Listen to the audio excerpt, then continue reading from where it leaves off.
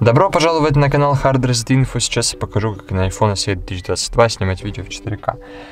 Для этого открываем приложение камера, открываем пункт видео и здесь нажимаем на вот эту вот кнопочку. Видите, здесь HD, есть 4К. HD это 1080p, 4К это, собственно, 4К. Ну и выбираем 60 кадров или сколько мы там кадров хотим снимать. По-моему, а, вот 24, 30, 60. Собственно, три всего возможности есть. Ну и все, и снимаем в 4К. На этом все.